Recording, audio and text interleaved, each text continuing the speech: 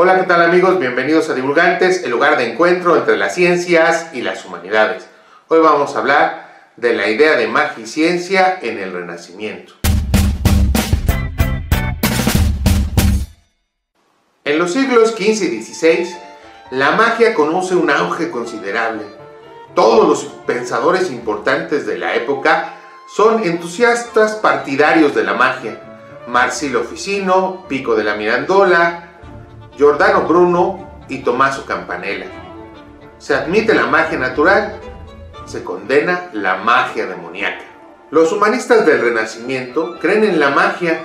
Si en el Renacimiento se recupera la razón, esta pasa por la magia. El director de la Academia Platónica de Florencia, Marsilio Ficino, traduce con el mismo entusiasmo, o quizá más, el corpus hermético como los diálogos de Platón. Para algunos historiadores de la ciencia, como por ejemplo Alexander Coiré, la revolución científica nace de la magia. Para otros, la magia representa un puente para la revolución científica, un paradigma intermedio entre la vieja forma de hacer conocimiento y la nueva ciencia. Como fuera que sea, el renacimiento está ligado a la magia y la magia natural está naturalmente integrada al conocimiento en especial el hermetismo. Copérnico, Kepler, Paracelso, Leonardo da Vinci sostienen creencias herméticas. Jean Battista de la Porta, quien trabaja en óptica y construye un telescopio, fue fundador de la Academia del Secreto en Nápoles, destinada a copilar datos en la práctica de la magia. La magia tiene un componente empírico. Gilbert quien realiza experimentos con imanes, sostenía la existencia de una fuerza mágica en un universo vivo.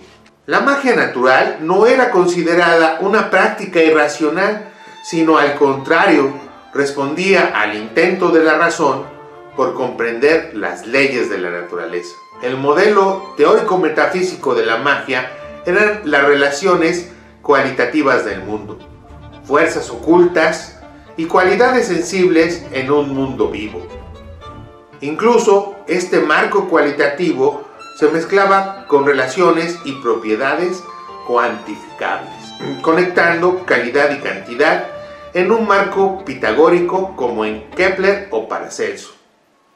Giordano Bruno defendía al mago como el sabio que tenía la capacidad de actuar sobre el mundo. Sorprendentemente para nosotros, la magia y la astrología privilegiaban la observación y la clasificación de las cualidades según reglas de semejanza, analogía y oposición. Entonces, la magia permitió un acopio enorme de datos observacionales.